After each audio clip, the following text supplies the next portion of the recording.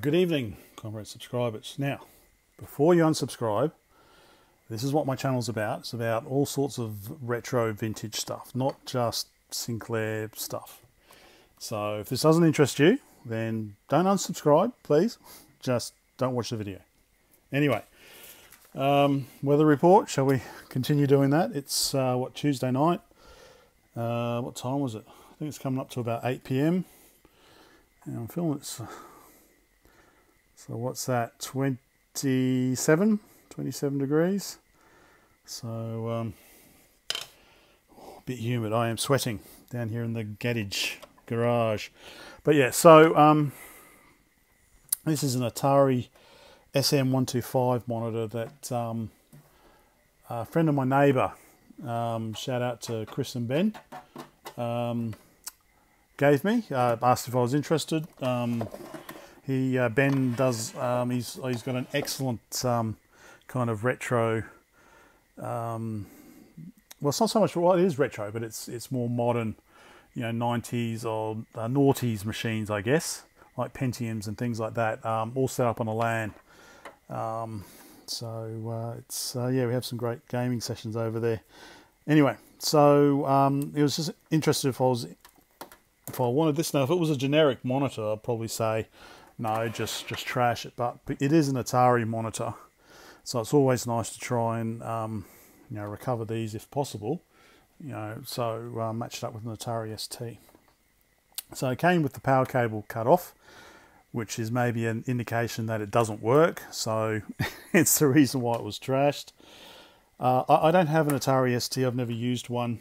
Um,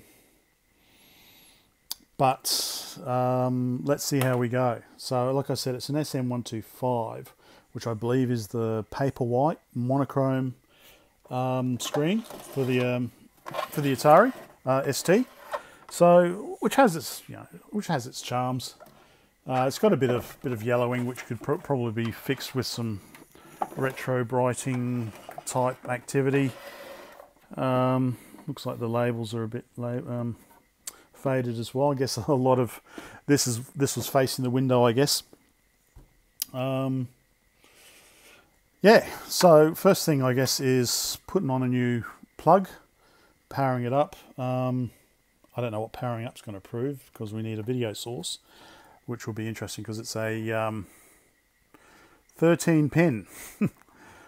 but not to worry, I planned ahead and got on AliExpress. I ordered a bunch of um, 13 pin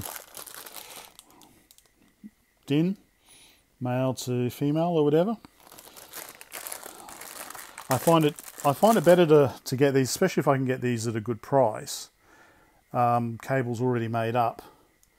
It saves me a bit of having to solder a DIN, DIN plug, especially a 13 pin one, but I'll have 13. So the idea is, hopefully this fits. Um, goes in like that. Okay. So I've got, so like I said, I don't have an Atari ST to plug this into, but um, maybe I can make up a, a, a cable to um, try it with a different video source. That's the idea. Okay, new power cable's done. Let's see if it powers up. If it whines or something, we get an image. Or if it's just completely dead. If it's completely dead, then obviously I'm not going to waste my time trying to make a 13 pin cable. Uh, Power on there. There's a red LED on there. Uh, power off. Power on. Can't hear any whining. So it could be dead. V hold, V size, and H size on the back. Adjust the contrast, adjust the brightness. Can I hear anything? No, I don't think I can hear anything. So the light is on, but nobody's home. Now, I'm not a CRT person, so I don't know if I can. If it's something obvious when I open it up, then I'll give it a good shot. Um, but uh, yeah, I'm not going to go poking around high voltage stuff. I'll let the experts do that. So I'll see if the Australian Computer Museum uh, Society are interested in Atari monitor. All right, let's power it off and um, I guess open it up to see if there's anything obvious we can we can do. Okay, screws are undone.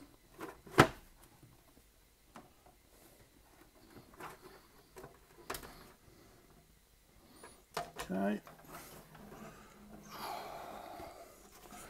There we go. Do, do, du. Right.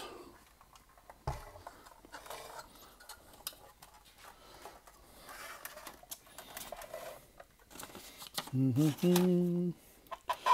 Ah. Check the fuse, stupid. That's for uh, UK 13 amp AC plugs. Right. So, nothing obvious. So the LED is on, so I assume there is some sort of low voltage getting generated at least.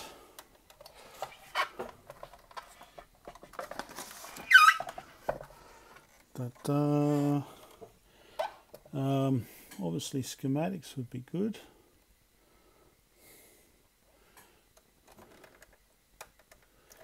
So it looks to be, let me get my plastic. I'll use plastic, I won't use metal. Pointing implements. Do I have one? Let's use that one.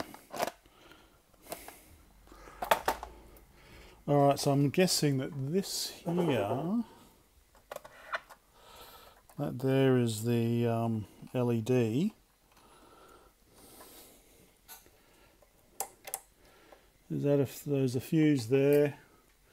So there's a fuse there. Mm -mm -mm Otherwise, everything else looks pretty much in. There's no exploded capacitors. Again, I'm not a obviously I'm not a CRT expert. So Let's have a closer look if you like. So, I say, so that looks like that's the LED, I guess. So there should be some power there. That looks like a fuse holder. There's a fuse there. And there's a fuse there. That's 250 volt fuse. What was this one here? Where was it? 250 volt. So, um, otherwise I can't, there's nothing obvious. Like I said, I didn't hear any kind of whine.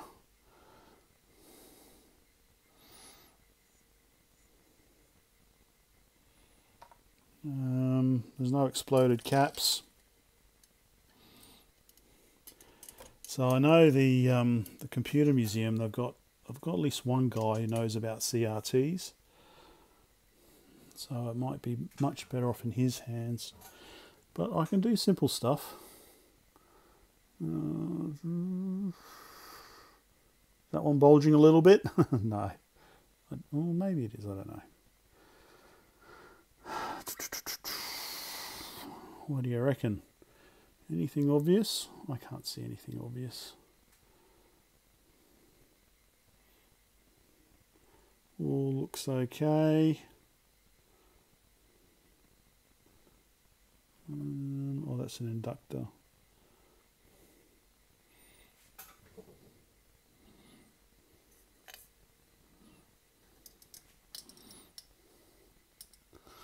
All right, I'll uh, poke around a little bit.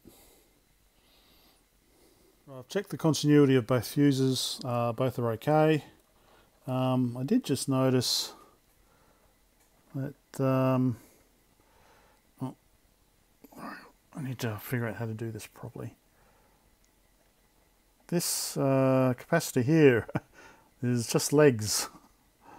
There is no capacitor. It's been removed. Uh, so I don't know if that was during manufacture. I'm assuming it is.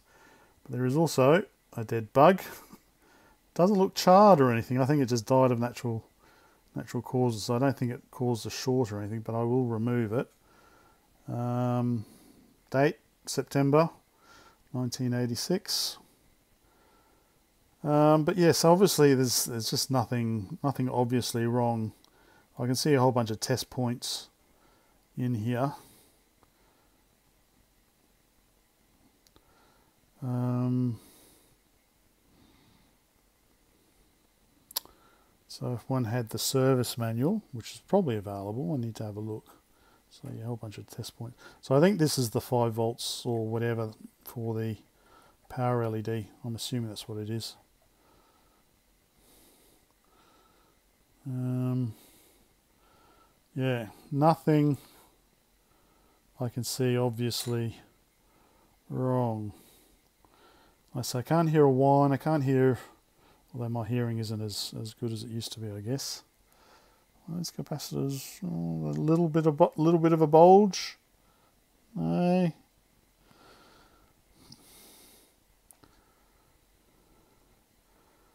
Um, yeah. So there we go. Sorry, it's probably not a very exciting video, so. I'm gonna have to uh, do some research on this. Obviously, I'm not going to make up a. I can have a quick look at my plans.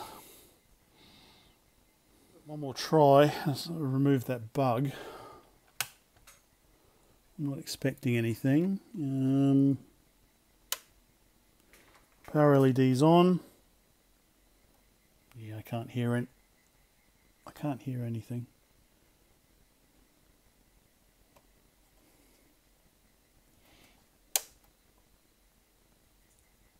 Or maybe I can. Oh, there is a high-pitched sound.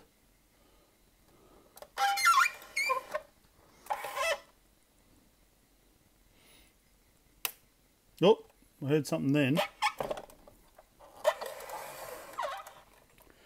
Definitely heard something then. So it's wanting to do something. um, but yeah, without the uh, proper schematics or service manual, I'm not going to go poking around. Sorry. um, before I go, I can definitely definitely hear something. Oh, okay, okay, and it does have a speaker. Okay, it's good to see it's got a speaker. So with the 13 pins, um, so the pin outs. Okay, so we've got audio out. Uh, okay, so this is coming. Okay, this is coming from the Atari. Yeah, so audio out. So audio going to the speaker. So it's mono mono audio composite video, um, monochrome detect, audio in, don't know what you use that for. You've got your RGB, you've got some SCART stuff, horizontal sync, vertical sync, monochrome and ground. So, um, really it's just the monochrome signal that we want. Um, but composite would be easiest to use, I guess. So um, I just, I guess, hook up audio and composite and ground is basically the three pins I need. Um, and that's looking at the port. So that's the idea is to basically probably chop this end off. So I've got this this much cable and then um, just use this add on a um, RCA socket and a um, and a 3.5 mil plug or socket for the audio and we can use it use it as a black and white TV basically if it was working. So service manual next maybe. Let's see if I can find something.